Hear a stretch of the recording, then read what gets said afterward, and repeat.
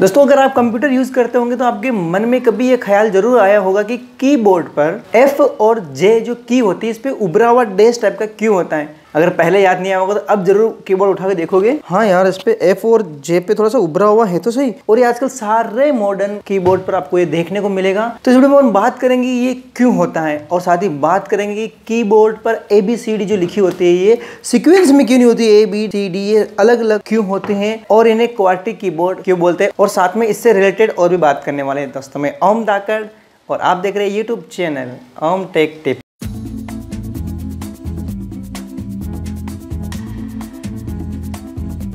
तो दोस्तों, सबसे पहले बात करते हैं कि कीबोर्ड पर एफ़ और जे पे वो डेस्क क्यों होता है, उभरा हुआ। तो दोस्तों, एक बहुत ही सिंपल है इसका लॉजिक और उस पर इसलिए होता है क्योंकि बहुत सारे लोग होते हैं कंप्यूटर पर बहुत काम करते हैं, बहुत ही फास्ट फास्ट काम करते हैं।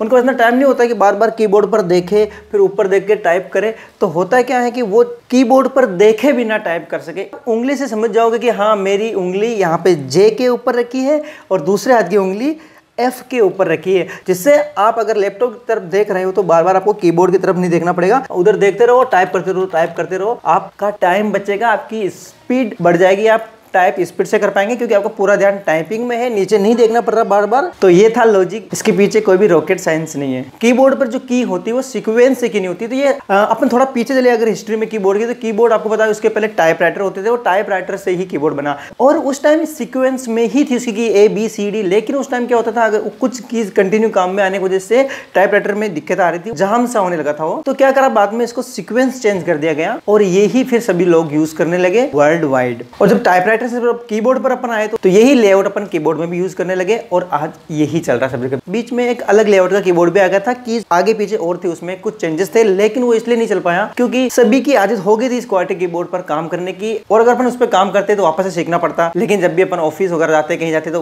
वहाँ तो क्वालिटी कीबोर्ड ही मिलता। भी इस पे काम करे उसका भी उस पर काम करते अभी एक में परफेक्ट बन ही नहीं पाएँगे। तो वो चला नहीं था और ये क्वालिटी कीबोर्ड ही चल रहा है अभी। क्वालिटी आप सोच रहे हैं क्वालिटी नाम क्यों है? सिंपल लॉजिक है। ये जो कीज अभी अपने कीबोर्ड में देखने को मिलती है, आप देख पा रहे होंगे। तो ये सीक्वेंस में है Q W E R T Y QWERTY इसीलिए इसको क्वार्टी कीबोर्ड बोलते हैं। जो फ़र्स्ट लाइन में जो लेटर है, उसका मतलब बन रहा है quality Q W E R T Y इसलिए अपन इसको क्वालिटी कीबोर्ड बोलते हैं। इसके पीछे भी कोई रॉकेट साइंस नहीं है। और आपको मैं एक और अच्छी चीज़ बताता हूँ किसी के मज़े लेना हो तो कीबोर्ड के कुछ बटन एक साथ दबाकर आप कैसे उसके मज़े ले सकते हैं। देखते हैं।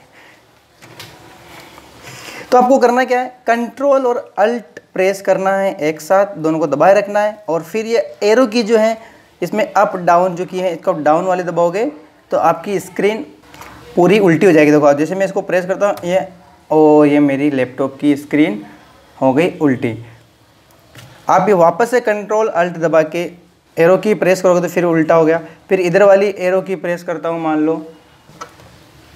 ये एरो की प्रेस करता हूँ, मान लो। तो ये इस साइड घूम गया।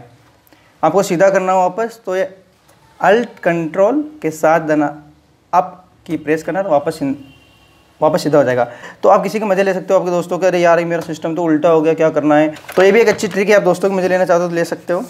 ये शॉर्टकट विंडोज़ पर ही काम करते हैं। अगर आपको ये वीडियो अच्छा लगा तो आप लाइक कर दीजिए, आप कमेंट भी कर दीजिए, आपको क्या अच्छा लगा, अगर अच्छा नहीं लगा तो भी आप कमेंट करके बता दीजिए, और हाँ हमारे चैनल को सब्सक्राइब करके बेल आइकन दबा सकते हैं।